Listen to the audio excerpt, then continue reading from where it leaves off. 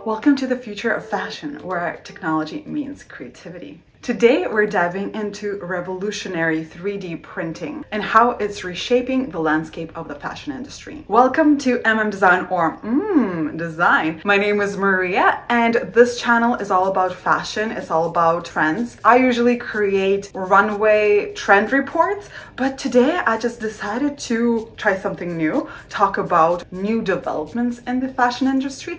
And if you like this kind of content, let me know down in the comments below.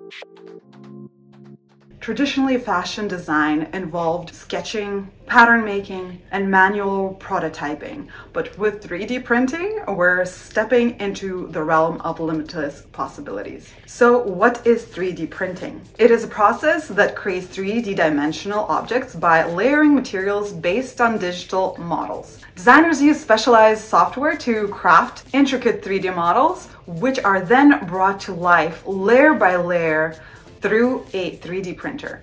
There are several different 3D printers in the industry today, like FDM and laser sintering. FDM, or Focused Deposition Modeling, is the most common printer in the industry today. Works a lot like a hot glue gun that is operated by a computer. Solid material, known as a filament, goes into one end and gets pushed through a hot nozzle that melts it and then it gets deposited in a thin layer. This happens over and over again until a three-dimensional object is formed. We see this process in creation of textures on mesh fabric, like in Iris Van Herpen, designs making fabrics on their own using variety of printing methods. With evolution of the 3D printing, textiles will become more and more like the ones we wear daily. Filaments today already have different qualities like softness, elasticity, and color. Iris Van Herpen has been known to use 3D printing for a while now, aiding in out of this world fashion creations and breaking the stereotype of machine made versus handmade garments in the haute couture world and their perceived value in the eyes of the customer. Traditionally, the handmade has been seen as being about luxury, about superiority. It's also been seen as something that's elitist. Whereas the machine has been about progress in the future. On the other side, it's been about mediocrity and dehumanization. I'm finding that those values don't really hold up. Sometimes a garment that's been machine made actually has more hours spent on it, is more luxurious than doing it by hand. Another 3D printing technique is a laser sintering. It creates structures by shining a super strong laser on a thin layer of powder, fusing the particles together to form a thin solidifying layer. Then a new layer of powder is placed over that structure and the process is repeated as many times as it takes to create the design. We can assume that this was used in Balenciaga in their haute couture show, creating the metallic armor gown.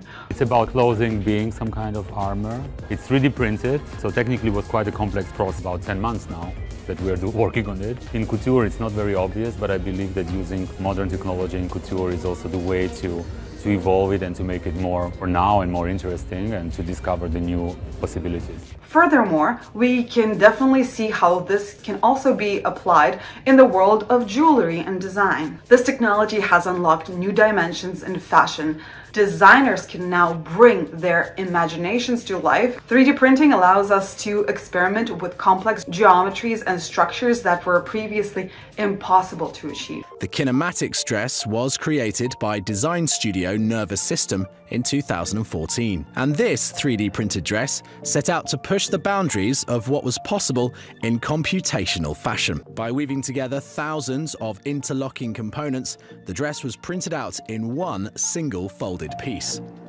A piece which required no assembly at all. The advantages of the 3D printer is that we can digitize of the, all the patterns to produce only the necessary fabric. All of the process of the design, the production and the use of the garment is very sustainable because when the client don't want to use more the garment, they can return us and we can melt the garment and recreate the raw material another 3D printed filament. Eh? Indeed, sustainability is a driving force. By utilizing eco-friendly materials and reducing waste and printing on demand designs, 3D printing aligns with the fashion industry's growing emphasis on sustainability. Moreover, 3D printing has pushed the boundaries of avant-garde fashion. Designers can create truly unique and personalized pieces tailored to individual preferences and body shapes. The industry of 3D printing in fashion is inspiring a more diverse, inclusive industry, from customized shoes to adaptive wear. It's technology that celebrates individuality. Not only 3D printing is sustainable in the idea of minimal waste and recyclable nature of the garments, it can also potentially eliminate the need for transport and inventory for businesses who can send digital file to a customer who can customize and print their own product from the comfort of their own home, using the blockchain technology to make sure that the file is not used multiple times. As 3D printing continues to evolve, it is clear that fashion industry is on the cusp of major transformation. The blend of technology, artistry, and sustainability is shaping a future where fashion is limitless as our imagination. If you're interested to find out more, I'm gonna link a few small designers that do a lot of 3D printing in their collections. A very short but sweet video for you regarding the latest technologies in the fashion world. Let me know if you like this kind of content and you'd like to see more, maybe the ideas of what kind of technology or particular aspect of fashion industry you'd like me to talk about next. If you'd like to show me a little support, then all you need to do is give this video a like, maybe leave me a nice little comment, and if you're not already, please do subscribe. If you're new to this channel, you can check out some more of my videos. But other than that, I wish you a happy day and yeah, stay classy. Bye. Thank you.